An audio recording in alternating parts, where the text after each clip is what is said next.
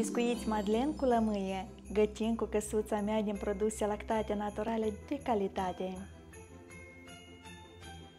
În bolul unui vas adăugăm 3 ouă și radem coaja unei lămâi. Amestecăm totul bine.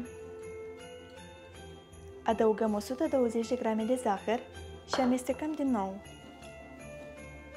Cernem 150 de grame de făină cu 6 grame praf de copt. Amestecăm ingredientele din nou până se leagă. Turnăm 150 de grame unt topit și răcit. Amestecăm.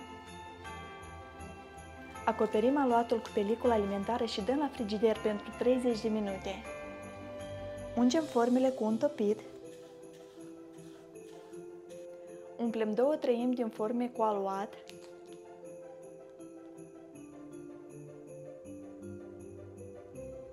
Coacem biscuiții 15 minute la temperatura 180 de grade Celsius. Scoatem biscuiții și îi lăsăm să se răcească.